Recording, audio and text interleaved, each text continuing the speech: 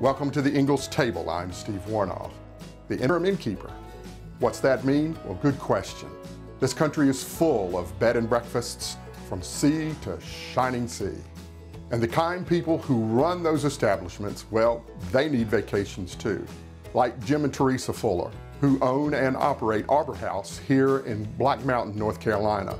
And when they need someone to fill in and feed their hungry guests, they call me. I have a deep love of cooking and began when I was 11 years old.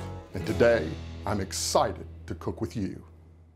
Hi folks, I just got back from Ingles where I did all my shopping for my Woronoff Juicy Burgers. Now first we have in our pan, we have ground beef, 80-20, um, and we have ground pork. To that, we're going to add, real quickly, an egg. We're going to add some minced garlic, soy sauce, Worcestershire, breadcrumbs,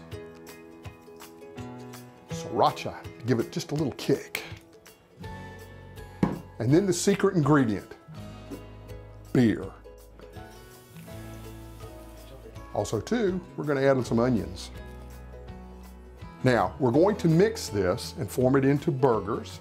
And the two best mixing tools that you have in your kitchen, these. So now we're gonna get dirty.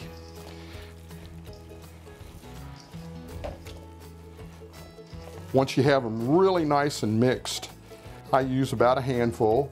They can be any size that you would wish. Form it into a ball, kind of flatten it out. Then another little tip, take your thumb, make an indention in the middle. That keeps them from shrinking.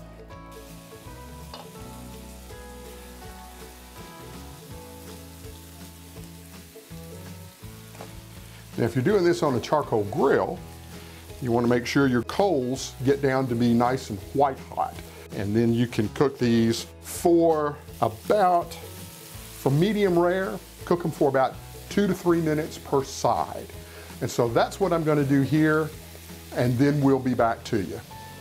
So, I've been cooking these burgers for, oh, two to three minutes per side, and now I'm ready to add the cheese. Now I'm using a really good cheddar, uh, but you can use white American, provolone, whatever you would wish.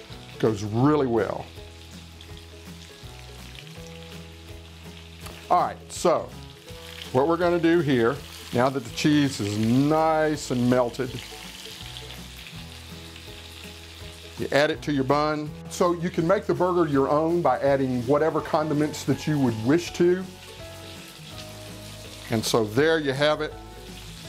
Happy eating. Well, we're all set. Thank you so much for joining me here at the Ingles table.